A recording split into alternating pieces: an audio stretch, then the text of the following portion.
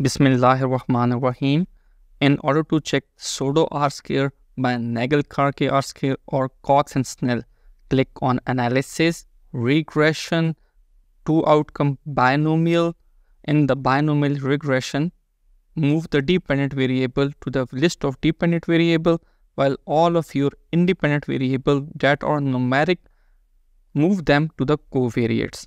And then I have four different independent variable then in the model builder, nothing to do, come directly to model fit. Here check Cox and Snell R square and Nagelkerke R square.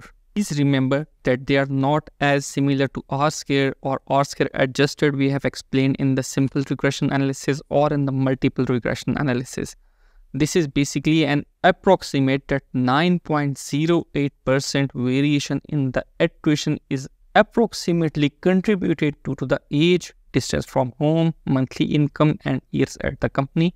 The Cox and Snell R square will also be explained in a similar way that approximately 5.46% variation in the attrition is attributed due to age, distance from home, monthly income, and years at the company. Thanks a lot for watching the video. Bye.